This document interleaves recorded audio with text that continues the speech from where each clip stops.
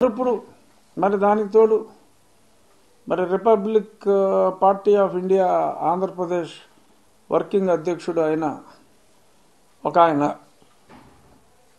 మరి ఫోన్ చేసి మరి ఈయన్ని ఈయన్ని ఈయన సోదరుణ్ణి ఏదో కొట్టుకుంటూనో ఈడ్చుకుంటూనో ఏదో అంకుశం సినిమా చాలాసార్లు చూసినట్టున్నాడు ఆ క్యాండిడేట్ మరి అంకుశం స్ఫూర్తితో ఇంకా ఆ సినిమా వచ్చి ముప్పై ఏళ్ళు అయినా మర్చిపోయినట్లేడు ఆయన. అంకుశం స్ఫూర్తితో కొట్టుకుంటూ లాక్కుంటూ వెళ్తానని చెప్పి మరెవరో రిపబ్లిక్ పార్టీ ఆయన ఇంతో మాట్లాడతాం. మరి మా ముఖ్యమంత్రి ఎప్పుడు నేను సింహాన్ని సింగిల్ అంటాడు. మరి ఇప్పుడు రిపబ్లిక్ పార్టీతో పొత్తు ఎందుకు పెట్టుకోవాల్సి వచ్చిందో రామ్దాస్ గారి పార్టీతో మరి తెలీదు. మరి ఏమన్నా అఫీషియల్గా పొత్తు ఉందా రిపబ్లిక్ పార్టీతో? తెలీదు. జనాలకు వచ్చిన డౌట్లో ఒక డౌట్ ఇది. ఏమైనప్పటికీ కూడా మరి ఇప్పుడు కొంతమంది హైకమాండ్తో పొత్తులో పొత్తు టైపులో ఉన్న పార్టీ వాళ్ళు కొట్టుకుంటూ తన్నుకుంటూ దొల్లించుకుంటూ వెళ్ళిపోతానని చెప్పి బెదిరింపులు వస్తున్న ఈ బ్యాక్గ్రౌండ్లో మరి ఆ సెక్యూరిటీని తగ్గించాలనుకోవటం దురదృష్టం. మరి ఆయన కూడా కోటమరెడ్డి గారు కూడా తగ్గేదేలే అంటూ మరి ఆయన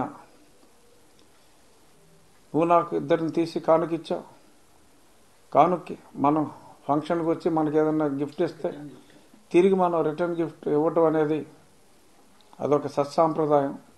ఆ సత్సాంప్రదాయాన్ని కొనసాగిస్తూ ఆ మిగిలిన ఇద్దరిని కూడా నువ్వే ఉంచుకో హాయ్ అని చెప్పి ఇంకో ఇద్దరిని కూడా పాపం ఆయన కన్నీటి వీడ్కోలు ఇచ్చి పంపించేశారు.